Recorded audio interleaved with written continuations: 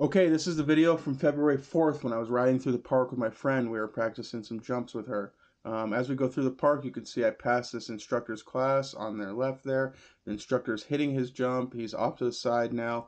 I'm hitting the jump. He's looking uphill and decides to put his ski pole out in front of me.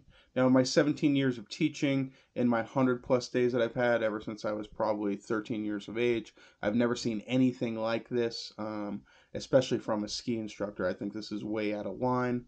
Um, I'm not sure why he did this, but uh, this rest of this video is exactly our altercation. And I just wanted to show you guys a little bit beforehand and a little bit afterhand, so you knew that uh, you know that I wasn't at fault for one, but for two that uh, this is just way out of line and hopefully someone's able to chat with this man so I can either A, receive an apology, or B, we can figure out how to best keep the students um, at this resort safe from these type of actions.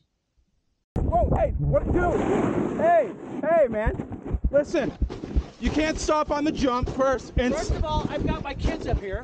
okay, Okay, so Where- where are I've your had kids? snowboarders hit them. where are you? Where, sir? Where are your kids right here? They're right here. Now, as you can see, there is no students around. We saw his students way up the hill afterwards.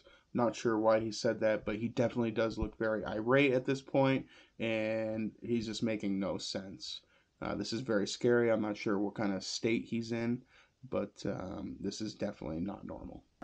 You just put your pole in front of me when yeah, I but you jumped. came past me. This, but What I watched my watched my kids. Yeah, but you came past me. This, but I What do watched my, my, my kids. Okay, I've got it all on film, sir. I'm and not, it's okay.